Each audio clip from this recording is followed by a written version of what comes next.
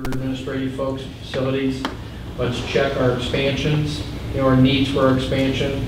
Just run through the priorities again with that level group, look at our utilizations to just firm up that, in fact, uh, the directions that we presented uh, were correct.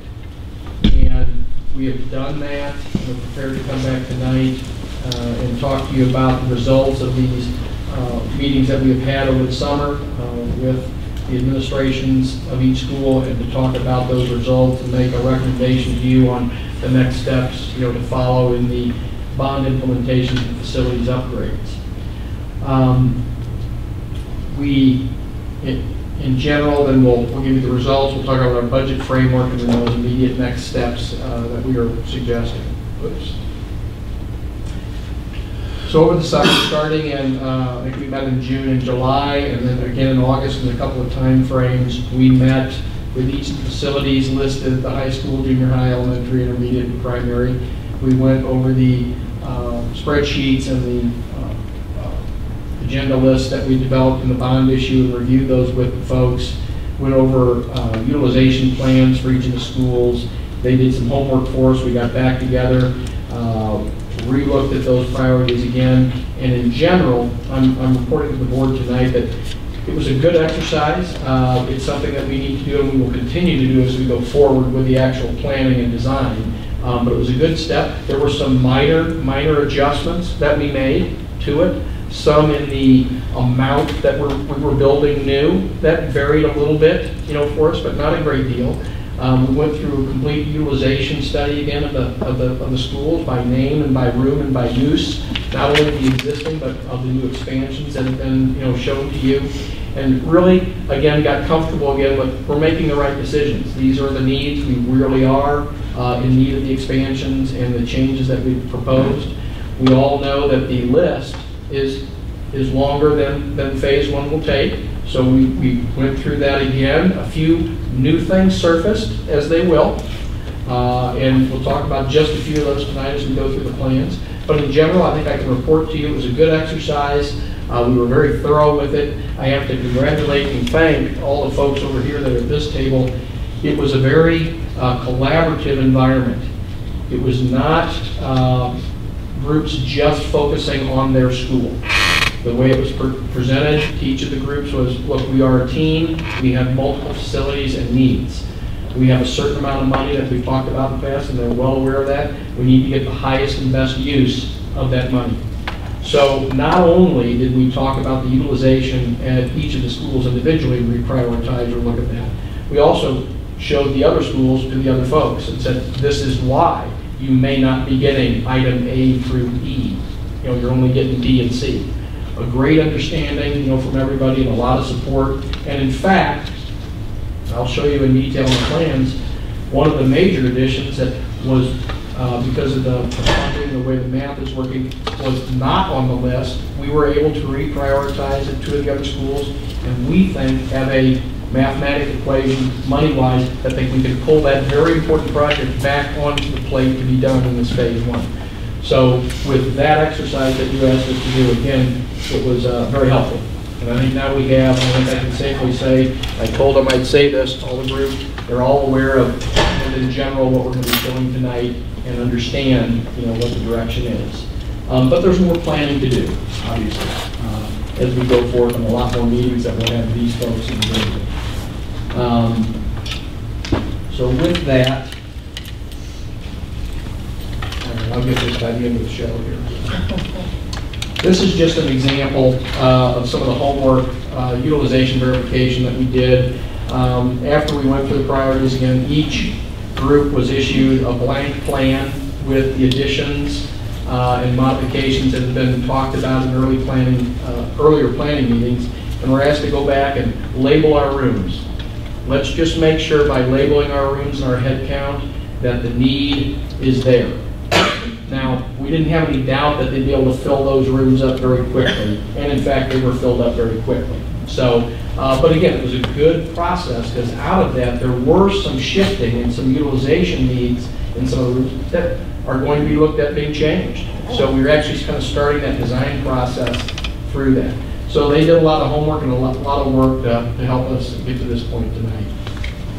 So what I'd like to do tonight is run through uh, really the the three schools that we've been focusing on, and then look at the high school, which had uh, uh, had a little bit more priority of need come to the surface that we want to review with the board. Um, On the left is obviously the floor plan. We'll go through what all the colors mean. On the right are designations uh, separated for, and this will be the case for all schools.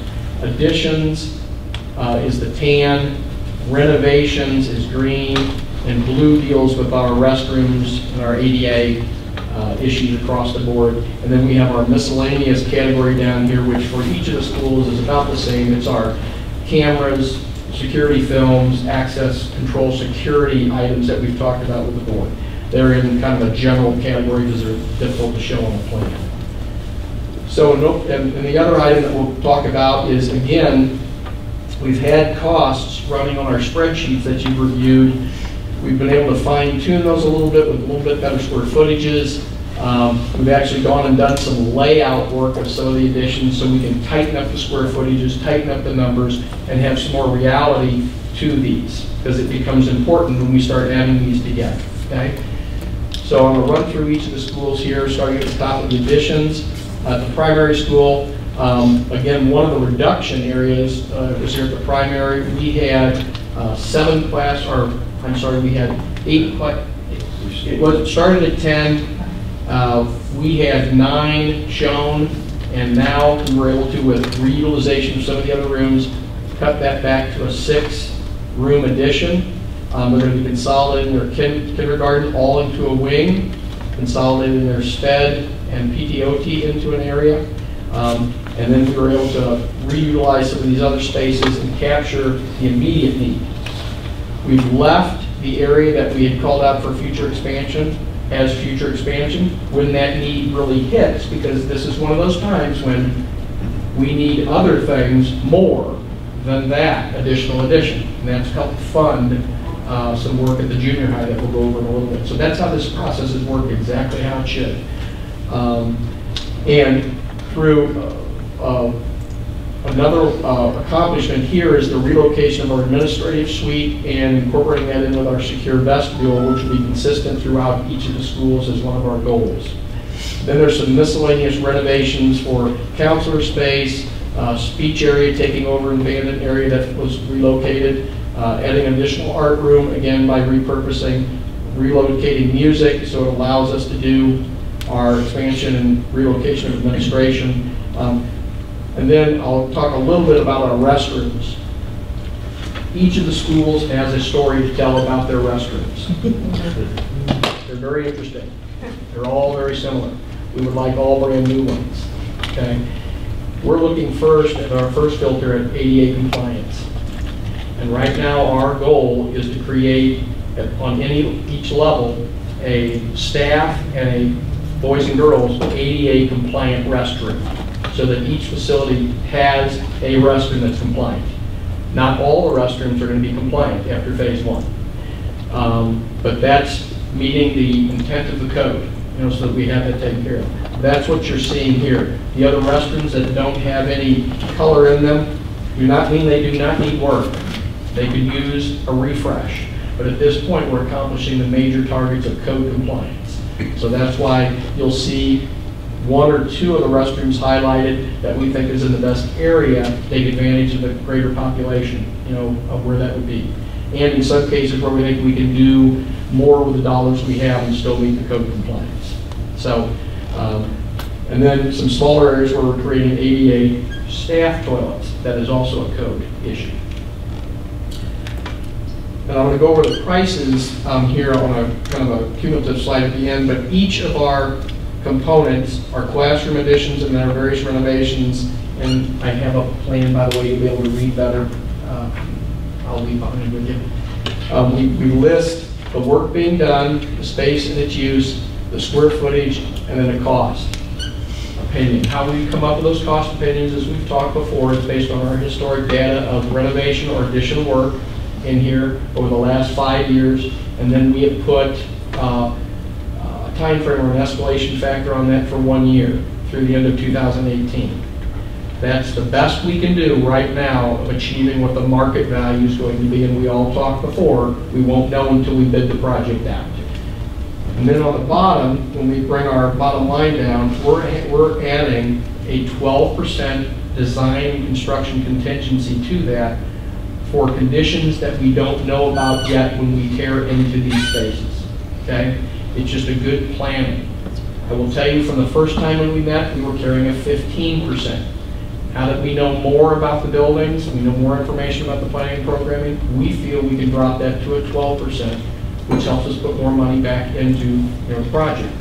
Um, We won't drop that 12% until we're, in our minds, till we're through our construction. And then that can be dropped off. And then obviously after the bid, we'll know exactly what the market costs are.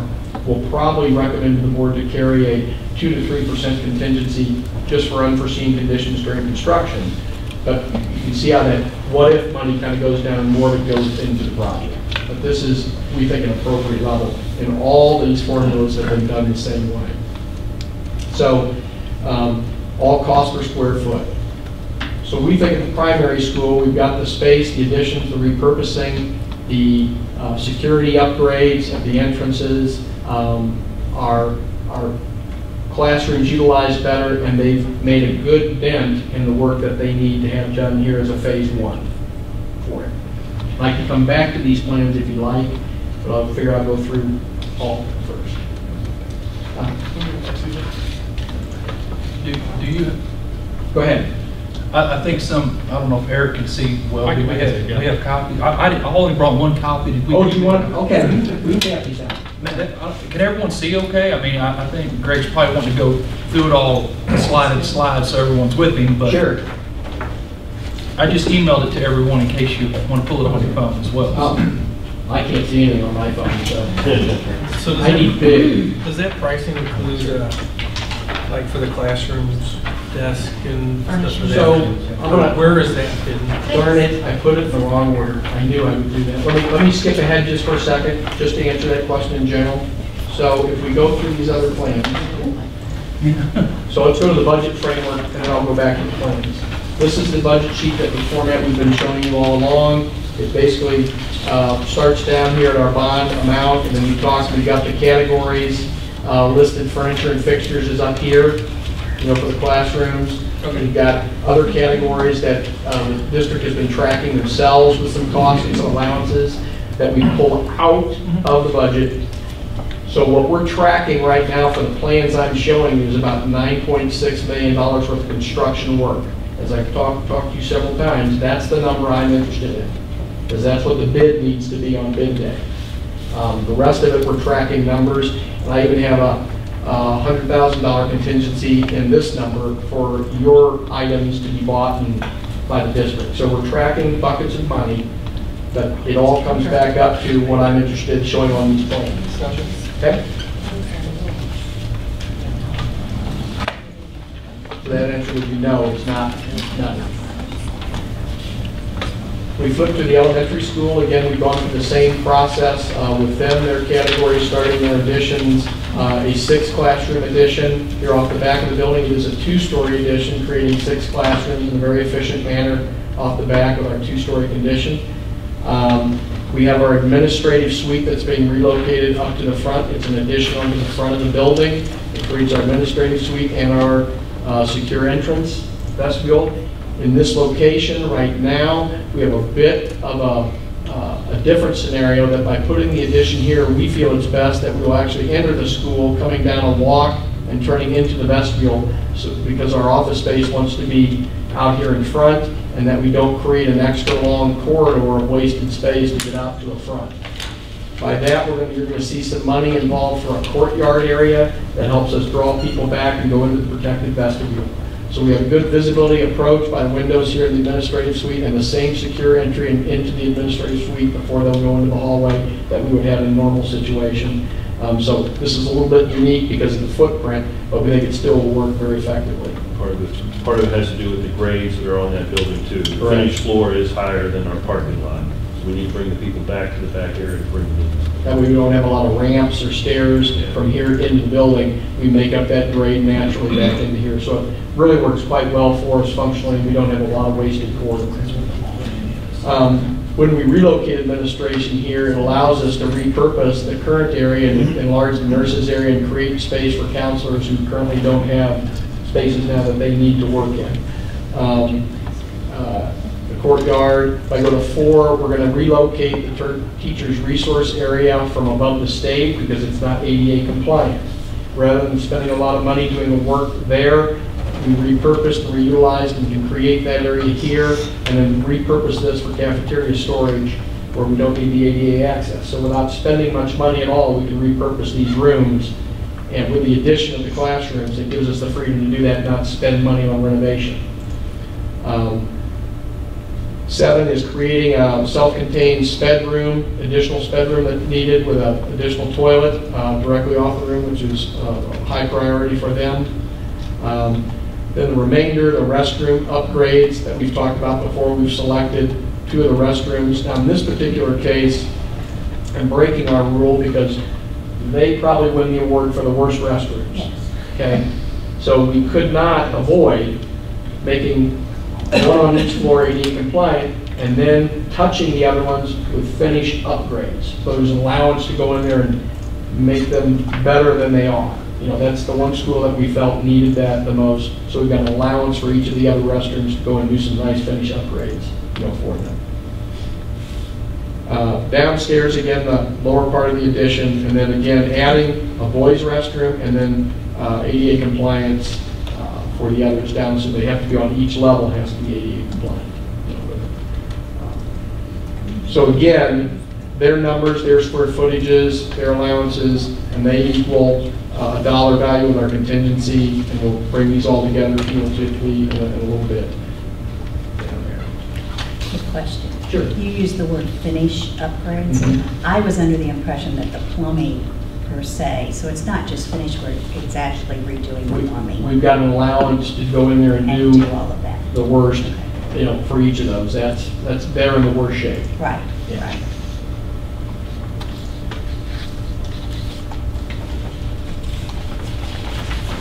Hey, the junior high. These were the troublemakers. No, I'm just kidding. Um, We all know that junior high needs a lot of work, needs a lot of attention, and you're gonna see in the bottom, uh, there's the bulk of the money for one school is spent here at the junior high, but I don't think that's any surprise uh, to anyone. And we spent a lot of time working with them and reaching their highest and best use uh, with it. And security was a major concern for them, and basically also trying to get everybody back into the building as opposed to being outside the building was a major concern, you know, with that. So very similar to the other locations, I'll start at the top of the additions. Um, Again, they reduced by one room or two rooms, I can't remember the original count, um, again, by reutilizing some other internal spaces, uh, using the addition very efficiently, and then being able to repurpose some of, some of the internal rooms um, to create additional classroom or user space uh, through that addition. So very efficient use of our expansion. Creating seven new classrooms out here. Again, you can see the layout, trying to connect in to the various corridors, so it makes a nice, clean uh, loop, secure loop, and very easy to manipulate these classrooms and have changeable uses over the next several years. We've left ourselves opportunities again for expansion, you know, corridors out, so always thinking about that. Uh, We do create a new set of restrooms in the back, which is needed with this size of an addition. Again, so they'll get a new set of restrooms back there, back in the corner next to the, to the classrooms. The number two is to uh, build an addition on the side with our weight room, fitness room, girls' locker room, uh, coach's office. uh, Here, about 6,000 square feet. We were able to reduce the size of that from about 7,500 to 6,000 by doing some planning and again, shrinking the building down to where it needed to be. This allows us to completely abandon you know, the occupied annex building uh, and pull, pull the kids in, so we're not using that facility. Our electric is going to be relocated down in the lower basement. because there were some modifications and some code upgrades that we would need to make to that building to continue to occupy it. So in looking at that versus building the new building, it offsets the cost of the new building. You were going to spend some of that money anyway, and that building allowed us then to repurpose areas and build less expansion of classrooms. So there's a, there's a dual benefit to that, but I would say the main benefit is to pull everyone back inside the secure environment, which was very important to that group. and makes a lot of sense. As we move into the renovation aspects, again, relocating their administrative suite and creating that secure entry works very well here at this school. Um, Repurposing some of the existing rooms, again, for various uses because of the addition, uh, helped us to build a smaller addition. Um, Along with the gymnasium, uh, we talked about moving uh, the girls' locker room out here. As we put new bleachers in, we're losing storage in the gymnasium. We're going to repurpose what is now the girls' locker room into storage and coaches' offices. Academics is a need. It's a low-cost dollar to create that, but they do need storage in there. And it allows us to get ADA compliant restrooms immediately in the new construction, which we would have to do anyway. So again, there's an offset, be it dual purpose out of making one move, which we think is very beneficial. Same with items uh, 10, this is the current boys' locker room. Um, It is not ADA compliant, it's very inefficient in its layout, so we're gonna, when we make the compliancy upgrades, we're gonna make it more efficient. And there even might possibly be some additional storage that we can create just because of the inefficient layout in there. Uh, And then 11 is back to our standard of let's make one of our restrooms ADA compliant up near the entrance, and then um, we were in compliance at least under that category. So with our two additions, this one in the square footage, um, we, we are at the, the higher end of, of the money spent, you know, at, at a location here, but it's well justified. It's just the square footage that's needed. Uh, Science labs. Okay? You- You're going to get some of what you want, and you're going to get not some of what you want. Um, When I go back to the synopsis, we talked about that, we discussed that, and uh, Heath actually sent us some information about what he felt was needed in those rooms. It currently doesn't make the cut. Now, that's what we're bringing to you. We're bringing to you a scenario tonight with these, these specific tasks, telling you what it costs, and then giving you some opportunities. I will tell you, in the fine tuning of this, a lot of these are domino effects in each of these schools. We've tried to package them that we build an addition, something moves out, move something into it. Not create multiple projects, but finish one. You know, as one, as something starts, we backfill, and it makes some sense as a package. We don't have a lot of opportunity to say, well, don't do number four here. Well, four is caused by number three and number two and number one. So we had to look at that and change because that just makes good sense of how to So, spend the so what was the cost you came up with for the science lab? Probably about a half million dollars. And we didn't know that before. Oh, I think Yeah. I'm just- I think because we I- had a hundred thousand. I thought that Hundred thousand budget. That was kind of a given as part of this project. but- you know, and, and. So what took its place? Well, You said everything, it- that- everything, let me, let me Everything get to else? the math. Okay. And then you can, you can tell me what you want to replace, Brad. That's exactly what the workshop is. Before you go any further, just real quick clarification. Mhm. The students that are coming in from the one annex building, but we have students in more than one annex building, right? Right. So do you think this is going to let you bring really everybody in, even the Yes. gate students out there? Yes, Yeah. with No this, matter with this what. plan, we will not have any kids outside on a, uh, other than someone taking their kids outside. Right. whether But it's there a- won't be classes. This is will not- going to, right.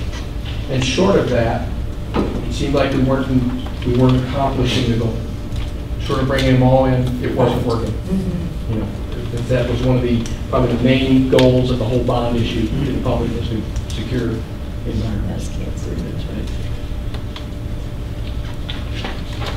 So our last, the reason you're not seeing the intermediate schools, I think we presented before, it was, there were no additions, no renovations, it was all in that miscellaneous category of security upgrades. So we didn't bother to do a plan for that. Not that we're ignoring the intermediate school, it just in that, that bottom category. So the high school, Again, another one that originally, we had the priorities from our main spreadsheet, that you remember was a $20 million cost. Originally, the high school was slated only to get the security upgrades. Um, So we went back and we, we- we still had conversations with them and talked about, you know, their future expansion, some of their other needs. And a couple of other things came up that we wanted to present to the board that, that are important. Um, And I'm going to start with just the front door. You know, as we started to discuss the security upgrades at the entrances, we know by floor plan that this school doesn't work as well to do our standard come into the vestibule, go into the office without a major redo with it. So we looked at solutions on how can we handle that. And one of the solutions was to move the resource officer, create a space up here next to the entrance, so at least that resource officer was visible and could be there at certain points in time to be that added protection, along with some additional monitors and increasing the size of the monitors, and then the camera, you know, scenario in the lockdown in the vestibules. That combination was, was talked about, that would be acceptable to upgrade what we're currently doing, you know, with it. So, so we put some dollars in here um, to create that resource space, you know, at the front entrance, uh, as that intermediate step, because we don't have the ability to move the office up to the vestibule if we'd like.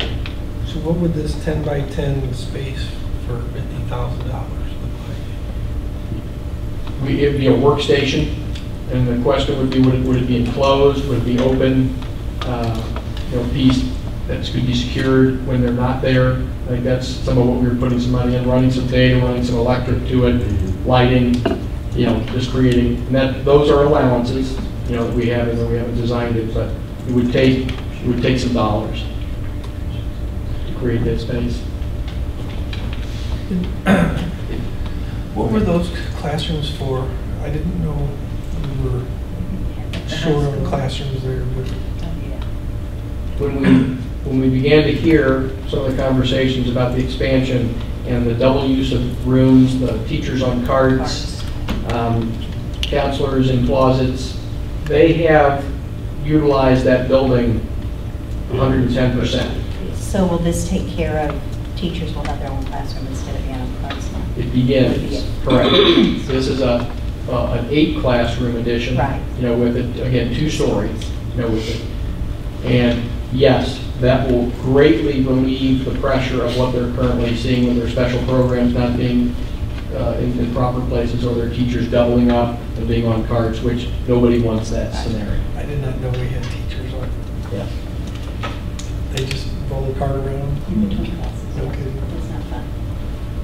And uh, they were being good team players and saying we can make do. There's others that need more, but in these conversations, we were pulling that out and thought the board ought to know that, you know, we, they were always on the major list, they just weren't in the phase one that we've been talking about, that maybe there's, uh, you know, a need to to have that discussion amongst this group about their need, need to be talked about. So this addition kind of helped eliminate some of those science labs? That's what I was gonna say, this could. Well, go- not- Time out, not- yeah. yeah, don't, don't even go there yet. We're not done. This, I'm gonna start worrying this there. 1.9 million is not in our formula yet. I'm gonna show you Oh. if I get through that. I just thought it was important tonight to bring this up to the board, that there is some need still left that's pretty serious, but we're always gonna come back to that 9.6. We all know how we got there. We all know we have more, so, but I think you need to hear what came out of our, our meetings, from a planning standpoint. Then there was some outdoor athletic uh, storage that was required. Uh, That was a need, that was a new one that's not even on the list. Uh, We identified just kind of uh, a scope to that, and then some canopy work that needed to happen because of water infiltration. Again, some details that just came up in that last conversation, not that it's not needed, but we wanted to put some scope to it, that wasn't even on the original list. I think the addition is what we want to bring to the attention of the board tonight. Uh, More important than the spreadsheet that a ranking originally showed, we think. So again, we talked about this, how we get to the 9.6. Contingency wise, that's the number that we think we're working on plans. So on each of the individual sheets, you'll see these numbers down at the bottom category. We have the primary, we have the elementary, we have the junior high. We add those numbers up, we've got a total of $9.3 million, utilizing a 12% contingency, which, again, we have to assume that that money may be spent as we start to uncover and do more detail. It's just good planning. So it's really not extra. It's money that we need to assume will be spent. When we get into the plumbing of the school, we're gonna find we need 12% more to actually fix it. That's what that money's there for. Our 9.6 that we know, so with those three packages that you have in front of you, we're at 9.3 with a 12% contingency. We have a delta difference of a plus of $300,000 over what we think our target needs to be to go out to bid with. That money, right now, we think is the seed money for our security film, cameras, and access controls across all those locations. That's, we're not going to accomplish everything that we want to from a security standpoint with $300,000 across all four of those. Mm-hmm. Go ahead. I- I'm sorry, Greg, I don't mean to oh. interrupt. I know how hard these things are, but I'm an ex-math teacher. I'm just trying to make some sense of something. Up on your elementary school, Yep, you have basically what's called 2.7. yep, It's 2.6 on your diagram you showed them. And then the junior high is 4.1. So I'm seeing 200 extra thousand there that are not on the individual diagrams. And I know these things are fluid and bouncing around, but, that is very odd. so that 200,000, we can allocate that directly to the science labs? Is that how I it's was thinking, Finders keepers. you Who else needs something? Did I mention troublemakers at the beginning? Hang on just one second. All right, Don't sorry. steal that money yet. Well, I'm hoping it's not the other way around. Everybody get out your smartphone and your. The, the primary and the high school numbers are the same as on the individuals, but the two middle guys, the elementary and junior high, are off.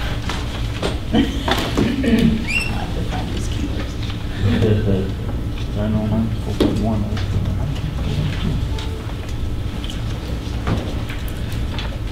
That is so different.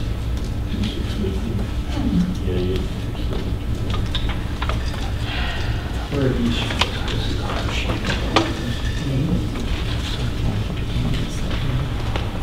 The good news is, I'm very confident that the numbers on the sheets, individual sheets add up correctly.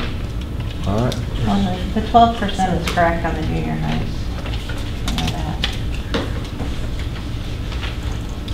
That's better. Yes, so we're, we're pretty good on that math, as my two mathematicians here will soon tell me.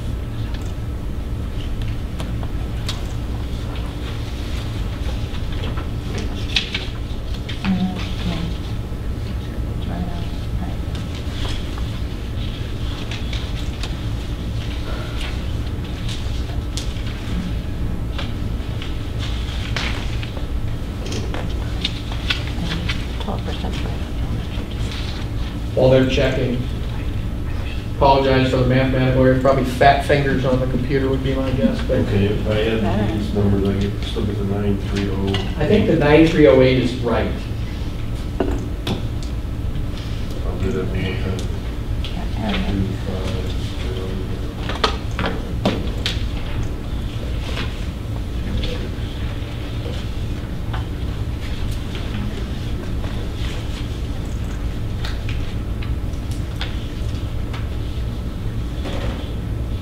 Yeah, Yeah, that's, so our nine three oh eight oh forty. That was gonna be my unfortunate thing, because I, I, I remember that, I'm not sure how these got onto the slide. That number is correct. And it includes the 12,000. So these numbers are higher than what's on the sheets, but the numbers on the sheets add to 9308040. So the sheet numbers on- Are correct. Are correct, not the numbers on the seeing right there. not these Right. numbers. But that number is correct, which means our delta difference of 300,000 between our target 9.6 and what we're spending at those three locations with the right numbers is $300,000 different. Um, I wonder if it has to do with that twelve percent contingency. No, I've already added that out. No, I I mean, think so. I- well, it's showing phase one cost, That is- like if you look at primary, it says two, three, two, six with twelve percent contingency, which is two, five, five, twelve, which you have up there. And then you add all that up, and you throw in another twelve percent contingency. Well, on top of it. See my question? Maybe, maybe you I think added slide- up, you so put your 12, your 12 should be at the bottom instead of your 12 worked in each one of Might, those spots. might be. That's over a These, these still, what we had correct, are correct. Okay. So when we add up those four, or those three sheets, with the numbers that are on the sheet, it's gonna equal that nine, nine three. Yeah, because if I add up those three numbers, I get nine, four ninety. So, Yeah. yeah. so that- What should have been on there was the base cost. Yeah. And then do the twelve percent. Yeah, right, so, so the nine three, so the scope of work you see on those three school, that's what we're targeting, that we think those, those improvements cost. We've got three hundred thousand in seed money for film, cameras, security upgrades, um, across those facilities, which we think, and we've talked about with, with- with Ray, is, is there some additional funding that we can do those improvements over a period of years, you know, out of, along with other funds, along with this money, and any contingency money that we don't use, that would be the first thing we would fund, would be our security upgrades, because that was one of the initiatives. Um, So you can see the science labs. uh, That we'd have to drop something else to fit the science labs in. And this is part of the last several meetings we've had with these groups. What can we, what's the highest and best use? What do we need to accomplish across all those locations? And then I'm sh- to get the best dollar we can. And we know full well it going to be everything, you know. So the question that spurred you guys going to the administrators mm-hmm. was how did we determine how many classrooms each building needed? Because we didn't know. Right. Um, because I've known that the primary has needed more space. That's been vocalized the last couple of years. And we've known the junior high needs a lot of work. Um, But I, I did not know exactly what the needs were of the elementary. I'd love to hear from Kim uh, what those needs, I mean, what those needs are, what those be used for. Well, currently I have um, 12 classrooms of third grade and 11 of fourth grade. So, and my third grade classes right now are at 24, um, 23, 24. So if I would have to add another fourth grade or we would get both to 12, I have no extra classrooms at this time. Everything is full except a small OTPT, which is like a closet, um, a closet size. And that will be taken with the addition of the bathroom downstairs. So if I would need to add a classroom at any year, if I had um, 12 coming up from the primary where I'd have to be 12 and 12, um, or I would have to add another classroom because of, you know, moving in, I wouldn't have space to do that. So technically, I don't know that I need six, but if we would have to move, I mean, don't have any place to put a class, if I would have to add a class. So, and I know for many years, intermediate's been at 12 and 12, and primary has some, but I don't know, I didn't do my research on that, but, um, What do the numbers look like No. the primary right now as far as? Okay, but the, ca- when you're moving the counselors to the front office, does that not free up one classroom space for your counselors? or They're what are not you in gonna the do front there? office, they're staying in that. They're staying in the room dedicated- they're in. Because Mhm. they're all grouped together now and need more space themselves, and the nurses area needs to be increased as well. Well, I tell you what, for some odd reason, you knew that you'd probably ask what enrollment trends are gonna look like. Uh, so John, using his for- Forecast Five analytical software, uh, has drawn up some enrollment trends, historical, uh, birth rate, live birth rate, how much, you know, how many births have happened over the past several years, and when can we expect those kids to come to school? And I think we picked, uh, 2020 as seeing a little uptick in enrollment. Uh, But you can see here, comparing historical enrollment from 2010 to 2016 on the first page. Um, So you can kind of see, we're not really where we were. And you can see the overall uh, differential there of total enrollment K-12 in 2010 was 3639 compared to currently 3459. And as you turn the next page, you will see enrollment projections. Uh, And uh, like I said, when you get to 2020, you see a spike here and there, like for the eighth grade class. Um, It has, when a class bubbles, that bubble bu- pretty well follows all the way through until those kids graduate. Uh, Page number, what is that, four? One, two, page three, uh, you'll see our total, total K-12 enrollment in a kind of a chart. Using live birth data, you see a continual downward trend um, as you go from 2010 all the way to 2021. 2010, we had 3,639 kids, and we're projected to have 3,317. Now, again, that doesn't take into account those that move in. You know, we're just looking at projections based upon live birth rate. Uh, Next page is total enrollment, staff to student ratio, and kind of where we are as a district. You see tho- those percentages, um, how how we fluctuate based upon the total number of staff that you have. Um, and then we've also included uh, our core data membership counts, the numbers that we take historically from 03, 04, all the way up to 15, 16. So you can see uh, you have uh, 733 uh, to 728 respectively, that's September, October count.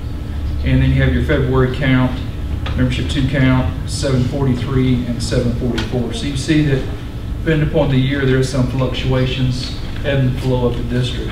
But from what we've seen, we're not seeing huge enrollment influx. We see maintaining, if not dipping. And that's one of the things that we talked about, and one of the goals that I've had, as superintendent, is I'd love to see we struggle at the kindergarten level because we have kids that come in that don't have kindergarten readiness, skills. We've got to do something to introduce some type of pre-kindergarten, early intervention, early education programs for our kids. Um, And I still strongly support that in our district, but that's going to take classroom space. Um, As far as what Dr. Tooley's saying, I agree, she might need one, and as she said, maybe two classrooms, but she doesn't know she's going to need six. So there's three classrooms on the top, and I know that Greg and Roy will tell you that that doesn't necessarily equate, you divide it in- in thirds and cut it, because once it's here, it's cheaper to build it when they're on site than the cost of just mobilization to start construction.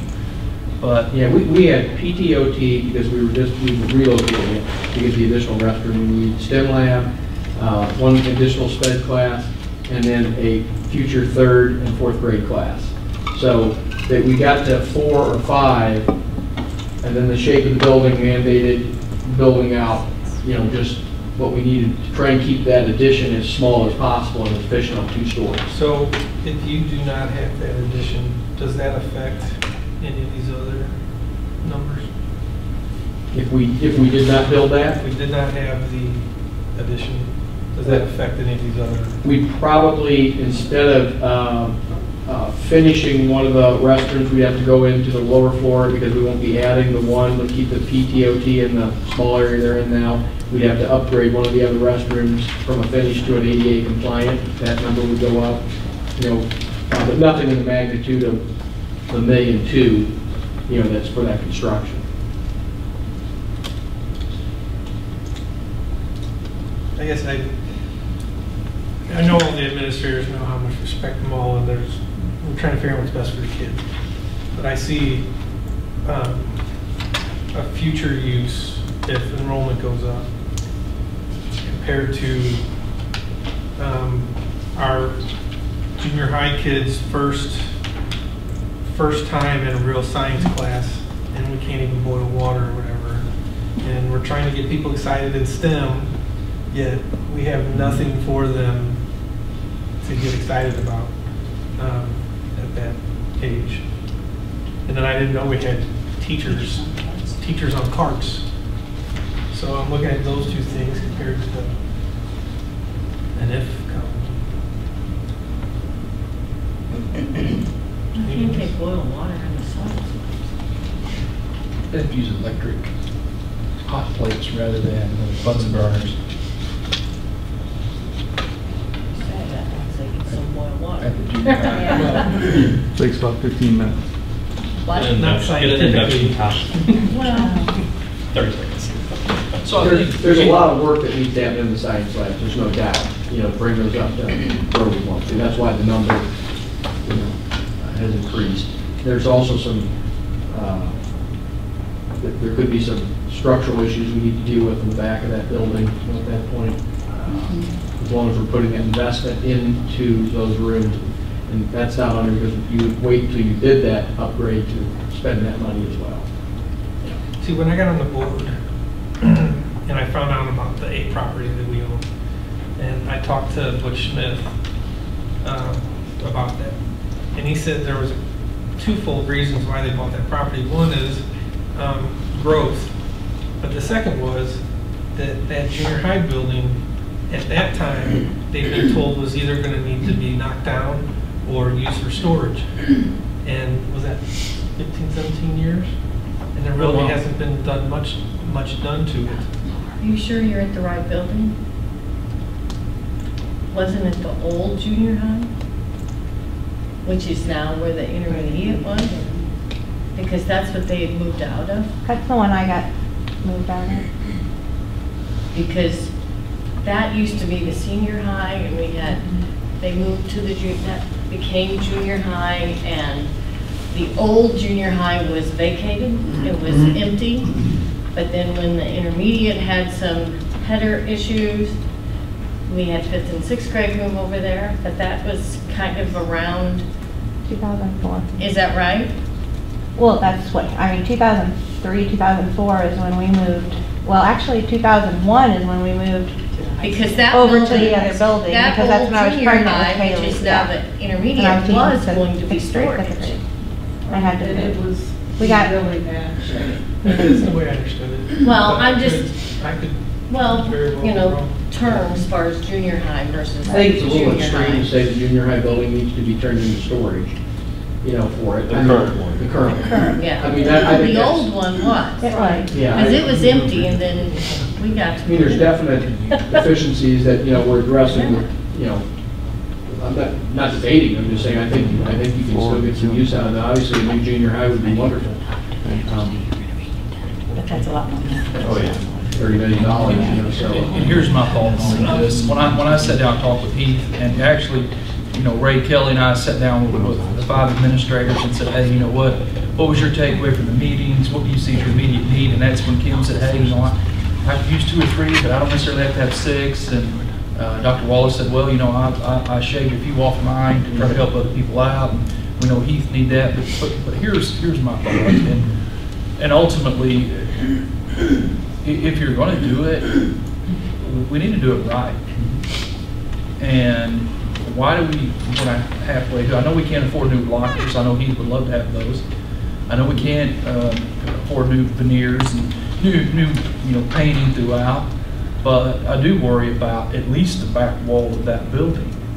Um, I know Ray's been monitoring that since I've been here, this is my fifth year. The wall, yes, has not moved On the junior high. on the junior high, the back wall, the science the. Science lab. Uh, we filled it and we've had those, I don't know, not GSI, Ray, what was the company that monitored, you remember? Uh, Well, we had two companies, one was Hillsboro Land and Survey Company. They do the, the hillside. Make sure To the make the sure dirt's not moving. moving. Uh-huh. And then we had, um, Company put little dials on the wall to make sure yeah, that. that's the, um, Breon Park. Yeah, to make sure that, that that wall wasn't shifting, but you still have a wall with a crack in it. That's my thought, you're gonna do all of this, you still have a wall to crack in it. Um, It's kinda like a car, you can put new tires and a new paint job, you're gonna fix the, fix the rust, you just still have a rusty car. Do all of what you needed, they would to. My, my worry, I, I, I agree with what Rob's saying, but for me, the huge concern is we need to fix, you know, the cracks in the floor. And I, I know Ray and his team's worked on that, we filled it in, but, I you mean, know. And this is the same building, the radon. That's correct. Yeah, we and put it in all the same area. So, same so area. you're saying, why would we spend money on remodeling this? No, I just want to do it right. And I think that's, wh- when Heath sat in my office, that was, and I don't speak for Heath, but that's the, the feeling I got, hey, if we're gonna do it, let's do it right. Um, let's, let's take care of the building. And one of the great pluses, I know that Heath and I talked about, was moving all the kids in. And there was an original thought that we weren't gonna have that addition there on the, and Heath was really concerned about that. Um, Which addition? The- Number two, the gym? Number Yeah. two. Yeah, when we first started our process, that junior high addition for the gym wasn't able to be included based on, the based on the numbers, because we had the primary and the elementary with a couple more classrooms and stuff than they, in our original shaved concept. off So then as we talked to him, we understood, we understood that, well, we could, but by the time we got through the elementary and the primary meetings with them, they were able to give up some of the classrooms we had already in the plans, which made the numbers fluctuate more to allow us to bring that back into play.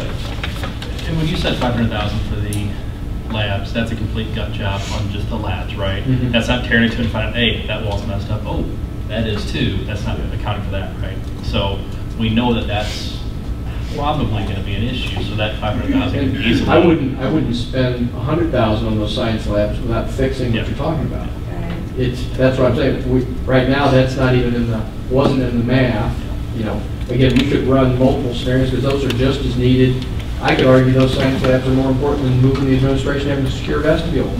I mean, there's, there's a lot of really important need, you know, with it, but we're being consistent across the board with what we're doing, because that's kind of how this was advertised, ah, we gotta make some accomplishments in areas, but I wouldn't invest a dollar in the science labs without fixing that whole situation, you know, with it. Which, yes, may drive the co- cost of those labs up, doesn't mean they're labs, it's just we got a problem in the building where we're gonna be investing money. But when you say that though, we know for sure that it's structurally sound, Yes. right? Mhm. Right. There's two, okay, sorry. I mean, they're, they're monitoring that stuff right now. Again, Yeah. it hasn't moved. It is structurally sound. Other groups have analyzed that it's not a collapse situation.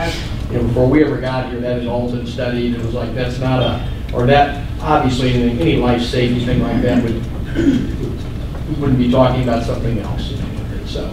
But I agree totally with Doc that we wouldn't invest in that interior and leave the shell, you know, crumbling.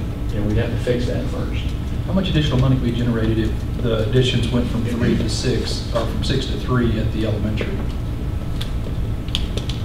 Yeah, but how would you do that? instead of two stories. You just have a one story on the bottom instead of a two.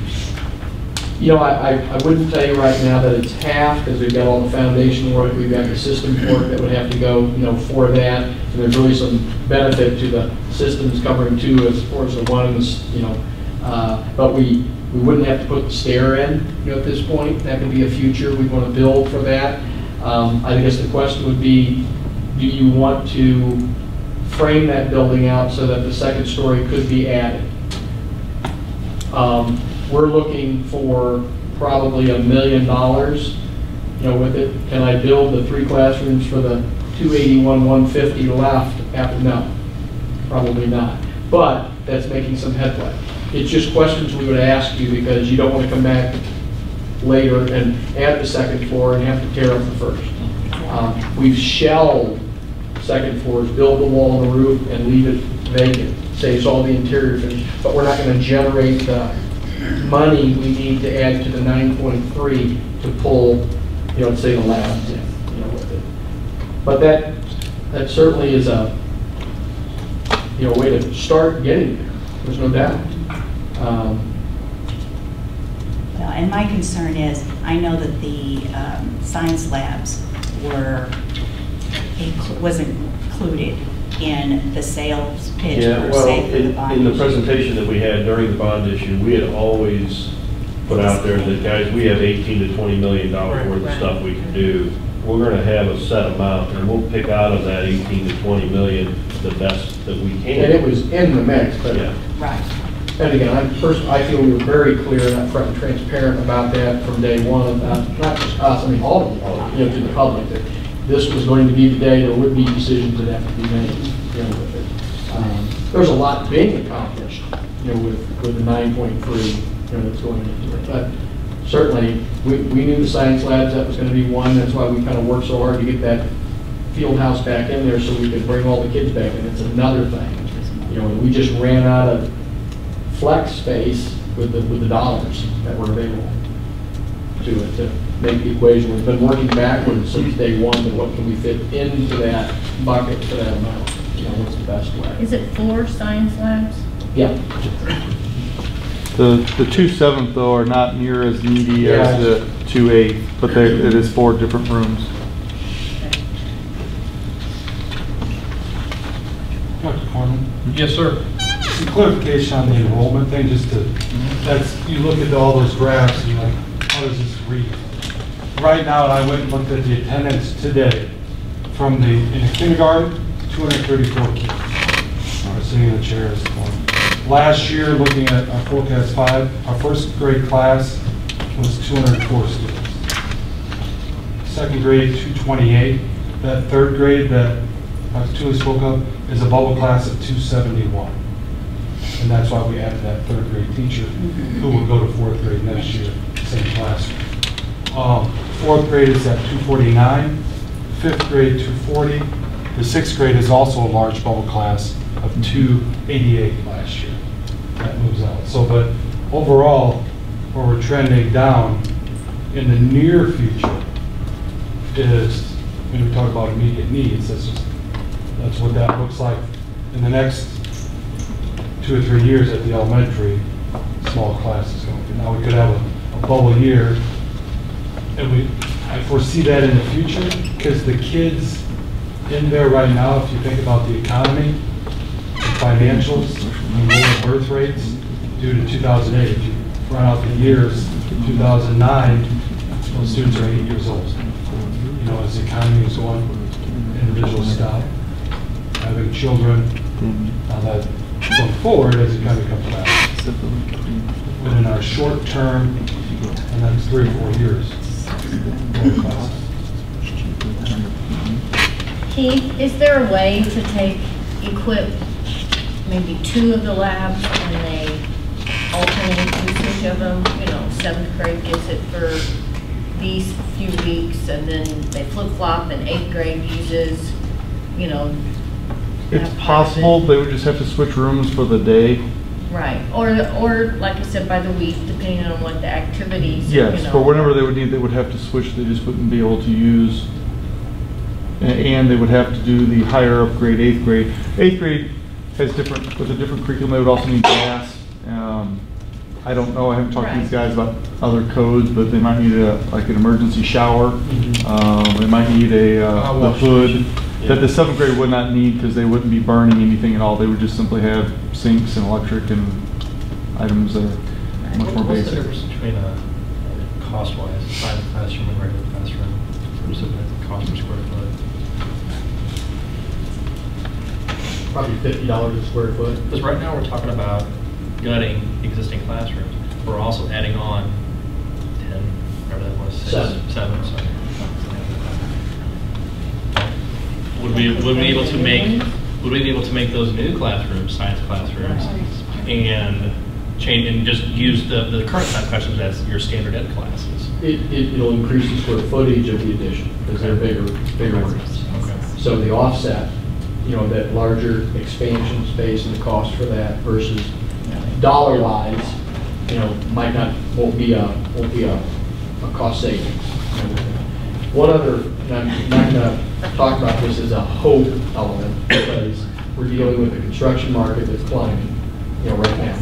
And is, this is a, a, a- good packaged item to put out as an alternate, is if we bid out, you know, in the packages we need to talk about, what are the next, you know, packages to bid out, and we get those large enough, um, they're, they're, you know, with some competitive bidding, we do have uh, a chance that maybe the numbers will come in slightly under, and we can pick up an alternate, an add alternate of rooms that's competitively bid at the same time.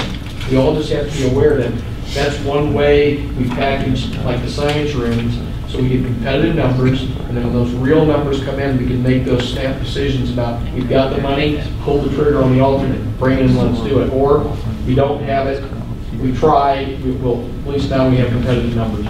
It's another way of, you know, waiting and not, not being reactive after the numbers come in, you save some dollars and go, well, let's start a design process for the, for the labs.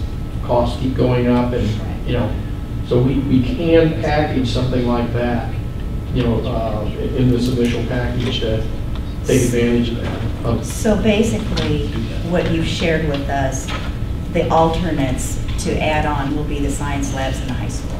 Because the high school is oh. not in this number. Yeah, I don't think the high school at two million dollars or the one point, you know, at least for the addition, you know, where we've got, you know, the one six. I, I'm talking about that across nine million dollars, if you have a, you know, a five percent variance in, from our estimates right now, at a very early stage with contingency, to hard plans, competitive market, bidding the actual plans, that you might see a five percent reduction in the nine million dollar number, where you can pick up a four hundred, five hundred thousand dollar lab, not a, the the variance. So the high school, we aren't even really. Now, I, I, I think we put that out there just because that need came, you asked us to do that, that is a, a real need, it's always been on the list, you know, uh, expansion, just was voiced as, You had to make a decision. It's decision real. not doing something at another location major to be able to get the high school major. right.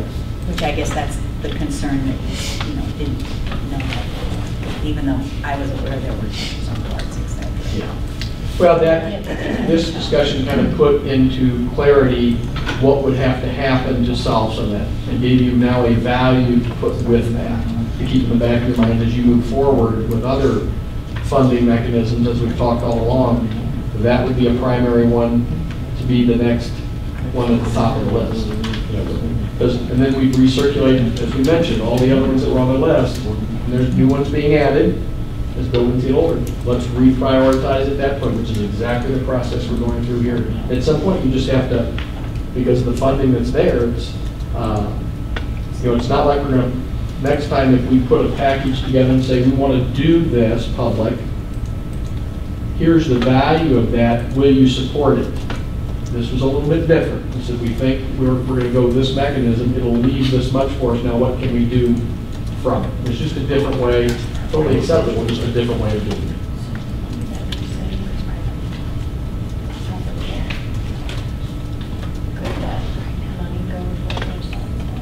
Yes, but it would not be the one for at least two or three years. Well, But you might I be able know. to one. But we're not gonna have all this done overnight anyway. Correct. The question was, what about savings from Highway A? What, how would we reallocate that? And, you know, we, we spend hundred fifty thousand dollars annually, but we, you know, figure we're gonna pay half a year. So at seventy-five thousand, we might be able to reallocate towards something. Um, But again, that, that's something we could look Make at. improvements, they don't have to be all at once. So that's filming and cameras on a yearly basis that can be added to each, and over the next three years, you can complete, complete that story as we're completing, you know, this work.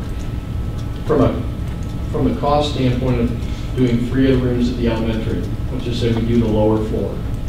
I think it brings back in the science labs much more in reality to save that money from that addition. And it's, I think, much more realistic to say, we built three of those six rooms, and we saved those dollars, which isn't half of it, that you could more safely say with our contingencies and, you know, what we've got, we'd have a, a much better shot at getting that in the bids when they all came in of accomplishing. We have to sacrifice something of substance to say we can add a half million dollars to the number. You know, so I think that kind of gets you a, a little above. You know, it. Um, I, I, I feel confident that we could put that in definitely an alternate package and have a much better chance of it. Without sacrificing something, I think we're just hoping that the numbers come in less, and right now the numbers aren't declining, they're increasing. So if we had, I mean, that three classrooms, if we had to add another, was it fourth grade that we were short one or third grade? We're gonna need to move whoever's in third grade this year, one of them up to fourth grade.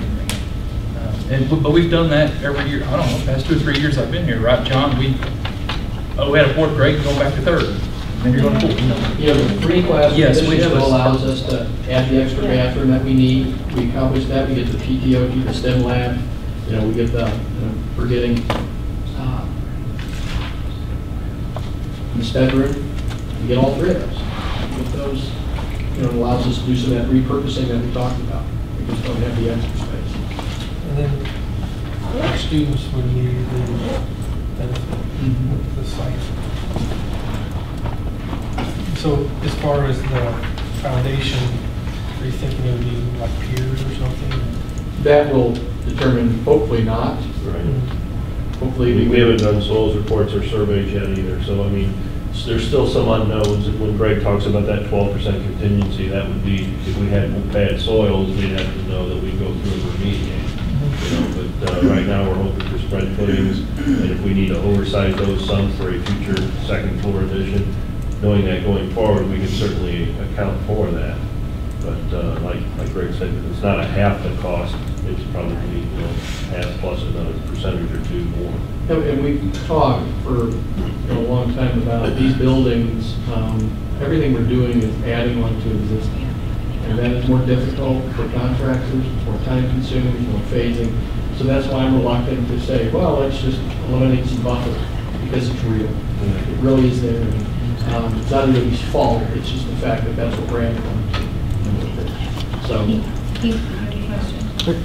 Uh, I know I don't get a vote in this, but um, as I'm sitting there imagining how I'd wrap my mind around this, we keep talking about student enrollment and projections and thinking years down the road, but I haven't heard any, do we have any kind of projections on when that next bond issue could happen and what volume that could be?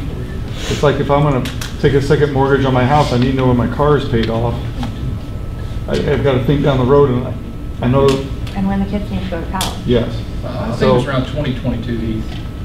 2022, Kelly, I see you nodding your head. I'm- I'm thinking it's right around there. to pull up some- Because just because you pay bonds off, doesn't mean you go, you're not gonna go borrow a million. Oh, I understand. It's not helping you. We You talk need to let about that build where up. we would put them on that list of next projects, but, or is that, is that feasible next year, five years from now, 10, 10 years? Because as we're talking about growth coming through, that, that's going to affect everybody. Mm-hmm. And you can try to forecast that, but if we know we had a huge class starting kindergarten this year, we would want to plan for that growth at the elementary three years from now. if That makes sense.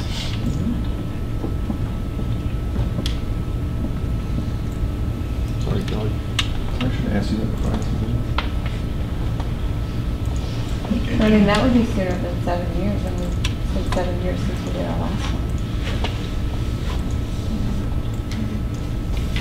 I mean, it's like, or, Just knows we wouldn't have to wait seven years to do something. That's what she's saying.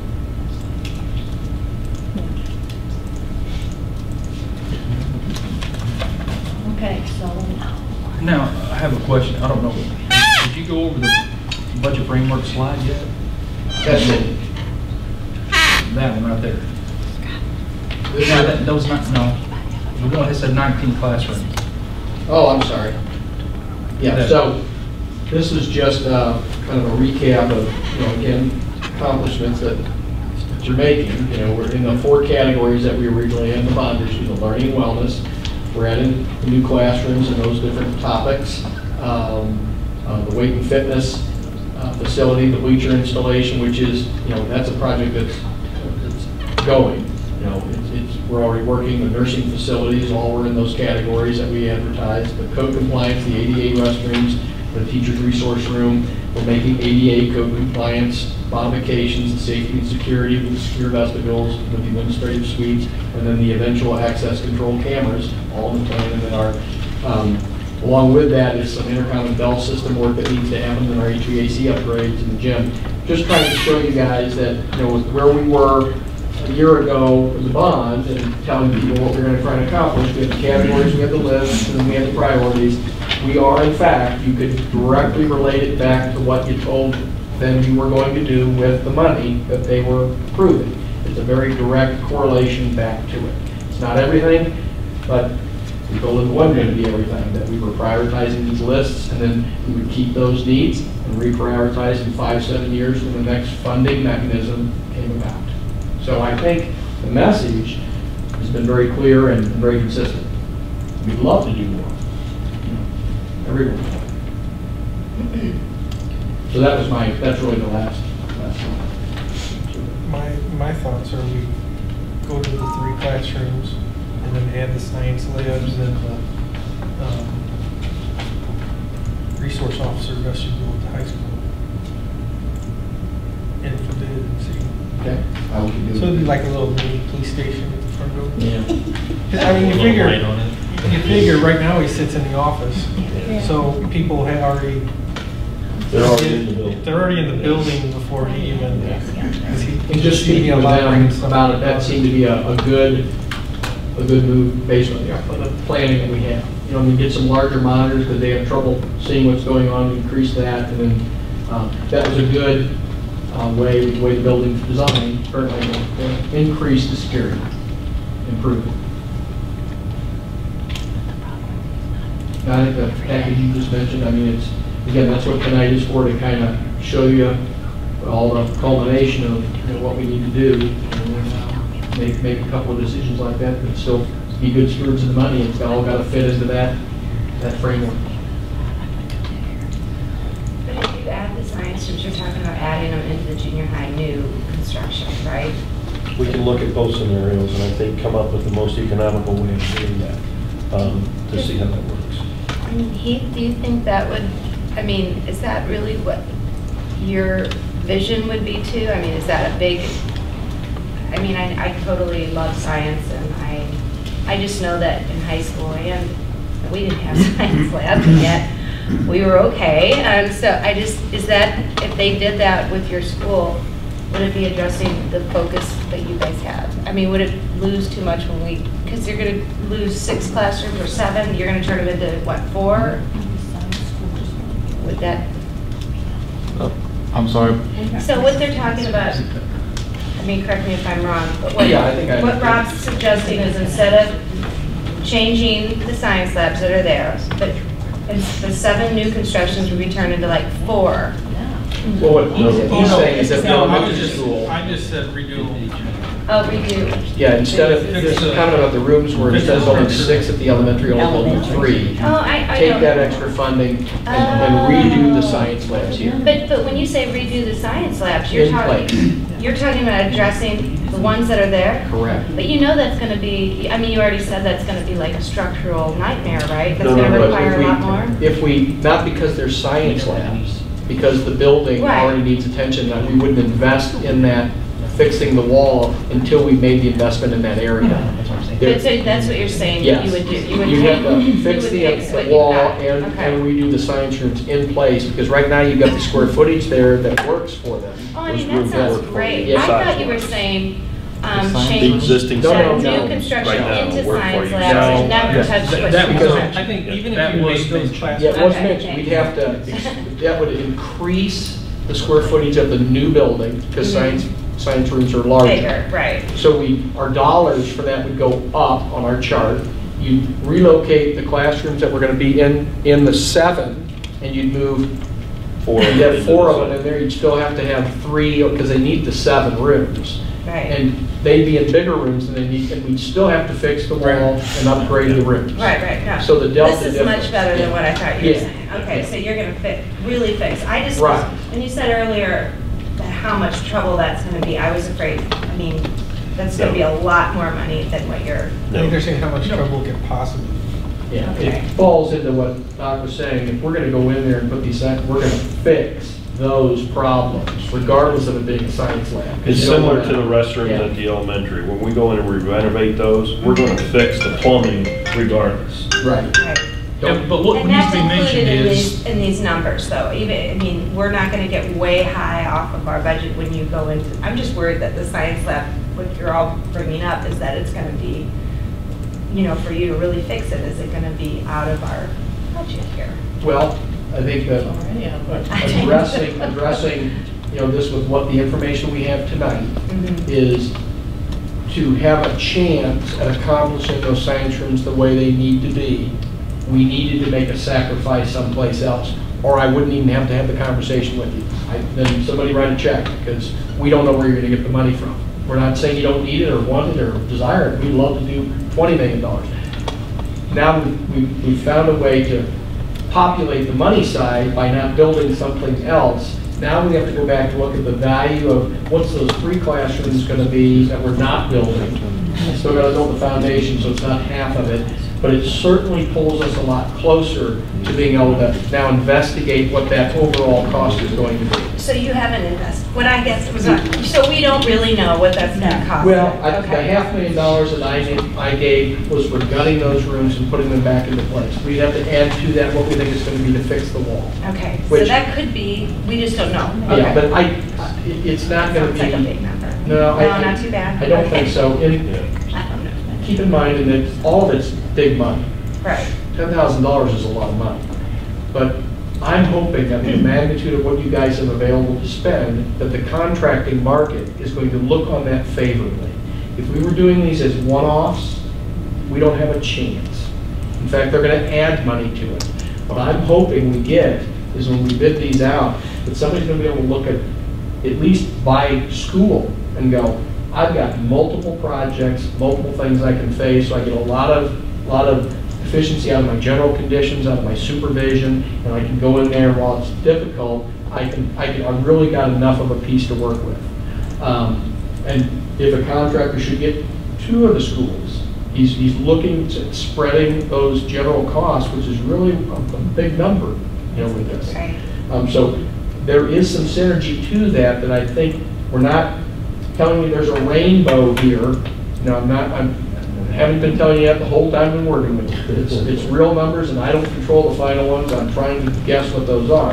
But that has, we have seen that help reduce numbers in the past, the larger that initial bid package is. And then we want to put those dollars right back into something. So, So I would like to see Mr. Allison come up with some alternative plans. If we can't have all four, how, what are we gonna do? And what, what are we gonna really use in those labs? Do we need Bunsen burners for all those rooms? And, you know, what types of things Well- we really need? And then I'd like to know from Dr. You've done that, Tooley, who, yeah. I don't know where she is, she's in the bathroom. But I want to know what her rooms were really going to be used for. You know, how much is she going to be hurting by giving up those three Well, she did say she didn't necessarily need six, right? right. She Well, said- but, but what are they going to be used for right now? Right. You know, I know he said something about a STEM lab for them too, so they need to have their science facility, just like the junior high and the intermediate and all those other places need. You know, they were just gonna have one room for that. One, one was STEM lab, one was OTPT. She had two for future growth for third and fourth grade. But I Well, don't one remember what grade the level other is short. two were. There was a teacher workroom. Teacher workrooms. So the two future grade and the teacher workroom are the three that I would say we'd go back and just review again. Again, that's why, you know, we want this format tonight, to go back and review to make sure we're not making a critical error by finding that. And then we need to do a little more investigation. I'll tell you, Heath has done a great job of identifying need in each of the science rooms. He got that to us just a couple of days ago, and so we would start with that, and we'd go investigate. I just got it, and I don't want to show you anything that I haven't had a chance to look at. and- It was an email that he sent you Yeah, today, wasn't it? yeah. And we're gonna be gathering information, doing layouts, making things adjust, turning things, and making it work before you really see it. I I mean, I mean, mean, that, so we can get a little more detail there, but in general, as the overall picture, you know, as we have the last couple of months, I think we're, we're at a point that if that's a direction, we want to verify, you know, the three classroom production, look at how much that reduces those costs, analyze the science loop, let's see how that helps each other. But if that's a direction, I really feel like that's going to get us close enough that we can put that into the package and as we refine from here forward, which has got a lot of work to do, we need to look for other ways that we can, not to not do it right, but be good with the money we're spending, you know, with it. Um, I have a, uh, two, two questions. One, one of the things Keith brought up from his science teachers was the radon concern. They want the radon gone. And uh, I know St. Louis radon come down, we still have radon detectors in there, um, and mitigated the radon the way that you're supposed to. So I, maybe a point of clarification about getting radon gone. mhm. Um, I'm, I'm not sure that I'm gonna be able to give you the technical answer of making it gone, because I'm not sure in our It's- it's experience that it's an exact It's, it's an science. evacuation process Right. of the, of the gases that would be a continuous, ongoing thing Through the vents. until Mother Nature says, It's I've over. This exhausted is it a all." breakdown and decay of the, Yes. But across the industry, the system that you have in there right now is what you do when you have radon. You evacuate it, and then you're totally fine to be in the space. So, but to say, how are we gonna pay money to fix it? That isn't gonna be the case. Now, when we fix the problem, we certainly are gonna leave the ability to continue to evacuate the radon gas that may be coming up. Yeah, and once we get into the details of, of that particular portion of the project, we'll revisit those issues, and we'll make sure that it is being done per with an today's standards. environmental engineer who's going to tell us So if that- there's any other ways we can do it cheaper or better, but still create, you know, a safe environment. you know, for. Because technology on that has changed from when you put those detectors in and how that's being done. Uh, The next, the next question, uh, what are they, three years old, Ray? Yeah. Those detectors are two, two or three years old. Oh, I'm. Next question is, uh, part of the discussion we've had several times was, um, I know with Ray and in our meetings and with facilities committee, when we've met, had discussions, was when we were rolling out in our projected go time for sending everything out, getting construction documents ready, getting all the blueprints up, whether it's downloading the bids Steve's bids. And that discussion, in my mind, was revolving around that spring 2018 build. And by that, it was the things that aren't going to interrupt instruction, such as at the end of Heath's building or at the end of primary building. I see, you know, Kim's might have to wait till summer, but there are some things we could do in the spring, but in our conversation, you know, a couple days ago today, was we're looking at summer 2018.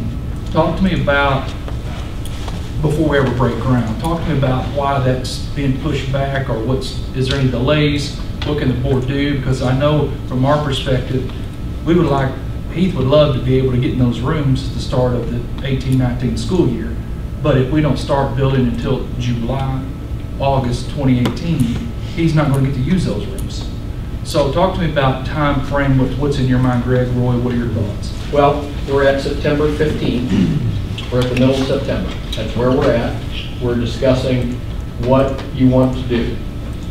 Okay? And, and we're fully prepared to implement these next steps plans immediately now. In fact, some of the last couple of months, we've been not just verifying what you're doing, but doing some tentative layouts of some of those additions to, because that's the next level of detail. We've kind of verified the need, now we need to, you know, start looking at the planning of it, like we're gonna do with the science labs. That's that next level that we want to get into. But we're at September 15th. Um, The last thing we're gonna do is rush through these detailed, messy additions to hurry. We've missed the spring window by a couple of months here, which is from the June to now September of us getting, making sure we're making the right steps. I'm not faulting anybody. I think it's a, it's a step we, we, we need to take. It's a, it's a big step for us. But now our job is to package these things, and I think our next window, except for the bleachers and HVAC and the electrical upgrade that we're, we've been talking about now, which is underway, we think that work might be able to get going in the spring um, with it.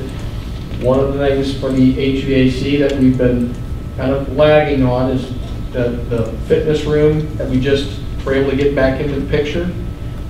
If that's in the picture, it may be a better situation for us to upgrade the size of the unit on the existing gymnasium to serve that as opposed to not. Well, to make that determination, we need to know if it's going or not. So there's been a little delay on, we need, we need the total picture to make the good decisions. I don't want to be spending money just because we picked up a month. I don't think that's being good stewards, you know, of it. So implementing, our, I think our next goal would be to, if, if you gave us direction tonight to, all right, we think, we think verify, take the three classrooms off and verify the cost of the science, but as far as the rest of the direction, let's do a critical path schedule and move forward. We would start to separate those items into what can be under construction next summer. Because that's your next window to not interrupt school. So what of these renovations can we package, get out of the street, get bid, get back, get mobilized, and start construction May 15th of 2018, to be done by August 15th, 2018? A normal summer schedule, the size projects, package that. At the same time, the, these other larger additions are gonna take us longer to design and draw than those, those will. We gotta come up with a time frame where we can bid those out in the right package, get that magnitude that I'm talking about, you know, with it, so that you get the better pricing because of it. And then that'll be the ones that aren't dis- disrupting school as much because they're exterior renovations. But the, all the front door work that has to happen, those additions, that's gonna be where we're, they're gonna be fall somewhere right in the middle. So I think, Doc, it's gonna be multiple packages, but what I want to look at, once we get that, this is what we're doing, how do we package it? It may take longer to get into it, but you may save a half million dollars by bundling it. that's a decision I think you need to make.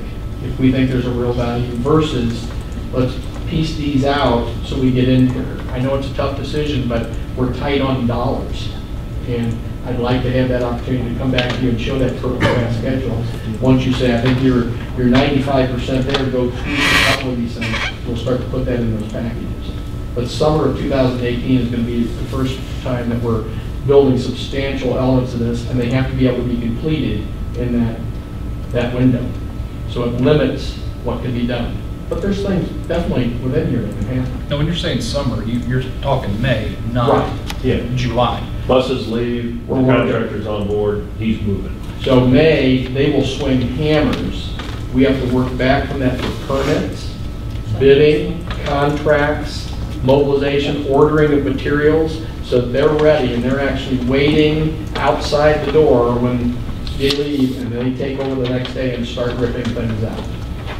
In some cases, you can start a little bit earlier, depending on the areas that are going to be working with, you know, maybe a week earlier, two weeks early, but you'll have your permits ready. And then, you guys, you got to be done August 1st, so that you do a punch list, you can finish, move in and be ready for school to start, because we don't want you operating. And there again, in some areas, can they hang over a couple of weeks in school? Sure, they're painting, they're putting base down, they're not, it's not dangerous atmosphere. So we understand those windows, but we've got to put the right package together.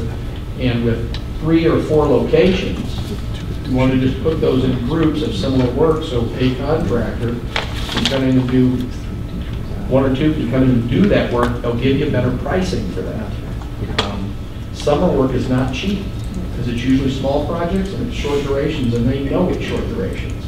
But if they know we've got bigger projects coming, and we can tie, you know, so that I think we'll get better pricing for it. So I know the timing's critical, I understand, but I also know how critical the money is, you know, with it. I'm putting the money over the time, right now, if you, if you're asking me that question. So I, I- once I get direction tonight, we'll go back and that'll be the first thing we do. We'll try and put those in packages and come back in a month, to your next meeting, and say, here's what we think the durations are gonna be, so you- you'll understand the timing. The board's meeting in two weeks. I was going to Pardon? say, that was my question too. In two weeks, we have another meeting. Can you have the money aspect for this possibility of change? Yes, By then? yes. Okay. Because then the board can take action at Right. that time. Because we have facts and you will know too. Because we're right with you. We don't want to go over the money. No, I, I, so just to be clear with the board, what I'll come back with is we're gonna study those two elements of this plan that we presented tonight. The reduction of classrooms at the elementary confirmed and, um, get team buy-off. We'll put some dollar reductions to that, what we think that's going to be. A little bit of work on the science labs, looking at the wall, getting a, a- what I- we think our estimate, just like any of these other line item costs. We'll look at the delta difference and say, we think we're in the target range, let's go ahead with that, or we still haven't given enough someplace else. You know, The other question I had, I was under the impression that the junior high bleachers were going to be able to be done over the Christmas break. Correct. Yeah, we had that conversation. We I we did. And it, it's, So is that a nix? Because you didn't, Yeah. you said next. Yeah, that, that That's right now, next. there's, there's too long of lead items on products right now, and, and getting in there to get the mechanical system and stuff completed. So that, that has gone to, uh, later springtime. Not basketball season. Right. So Yeah. You're saying the HVAC is holding up the bleachers? We're trying to get that whole package together as, so we have one contractor to go in there, disrupt, put it all back together, and then move out. And so that was well, the way we approached that package, was to create the HVAC, the electrical upgrades, and the bleachers all in one package to be able to go in and get that taken care of, all I in one I package. understand, I just wish we could know. I know Mr. Allison's already made promises to a lot of parents to Sorry. get new bleachers and air, As long as I don't fall down. which I thought that was happening, so I did too. I, uh, Well, we, in, in trying again to make sure that we're packaging this stuff correctly, and designing it, um, the engineer had a request, he said, look, if you're gonna build that other building, if we upsize the unit on the roof, which changes the structure, which changes the unit size, which change, We can duct over to that building, and you don't have to have additional rooftop units over there to maintain and use. It seemed to make a lot of sense, and he goes, so should I do that? I'm like, I don't know. Uh, And are you telling me it's significant? It, it could be. Lonely at the top time, Greg said, I've got to get better direction on this, you know, to make that decision. Because, or I'll be sitting here, and you'll go, you're telling me we could have saved sixty-five thousand dollars or hundred and sixty-five on a unit if we'd have done it together? You go, yeah, but you're in quicker. Yeah. I, it, it is, it's a double-edged sword for us sometimes. So I made that decision myself. I think it's the right one. And I, right now, I'm not gonna come back in two weeks and you're gonna tell me not to do that building. That's not what you're not gonna tell me to do. I'm gonna make that guess. And we're gonna go ahead and proceed with, that's the way we should be looking at that HVAC. And it's gone from seventy-five hundred square feet to six thousand because they've made some sacrifices. We've condensed some things and I've got a smaller building that we can afford. So a lot of that's on the good side of this. Yep, it won't be ready for Christmas. Well, and that's, you know, Yeah, I understand, I understand. that was my question, What I, I thought. what I want you guys to understand is, it's not a lack of caring, it's a lot of moving parts. And in fact, if we didn't care, it'd be end by Christmas. Right. And you'd, you cost you get what you get. I totally I- understand. Just trying to I make- totally understand what you're saying. All I'm gonna ask is, if something like that's gonna come up and change, I mean, we've got a school that was possibly already planning to change activities over the Christmas parade, or Right. this or that, and now we're just finding out it's not happening. I understand. Um, You know, if that Here happens. forward, it's we're gonna gonna be meet something. more often, obviously, you know, because there's gonna be a lot of things moving forward once we get the go-ahead to go on this set of packages, so more information, I guess, will be coming to you guys. I understand construction, I've lived it all my life, so I understand all that Yeah, background. we- And the money part No, is we- very. We definitely need to, we, we wanna, once we get this, we need to be, you know, maybe not every two weeks. It takes us a while to develop them, but definitely on a monthly basis, we can be updated. on all that. You'll have schedules to follow. And each of these groups will have to get updated, you know, if we start meeting with them individually. Because it'll become critical. And they're gonna be in there messing their system up, but they work very hard to do well, so.